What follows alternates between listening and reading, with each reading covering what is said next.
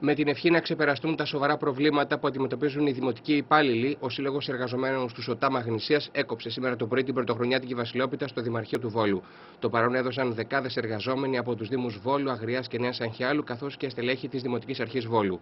Η πρόεδρος του Συλλόγου επεσήμανε τις αλλαγές που θα επέλθουν με το σχέδιο Καλλικράτης, ενώ αναφέρθηκε στα σοβαρά προβλήματα που αντιμετωπίζει ο κλάδος, ο οποίος θα μετάσχει στην πανελλαδική απεργία της ΑΔΔ στις 10 Φεβρουαρίου. Έχουμε μπροστά μας τα ασφαλιστικά, ε, τα ταμεία μας, το Ταμείο Ασθένειας εννοώ, όπου εκεί δημιουργούνται πάρα πολλά προβλήματα. Ε, έχουμε την απεργία στις 10 Φεβρουαρίου.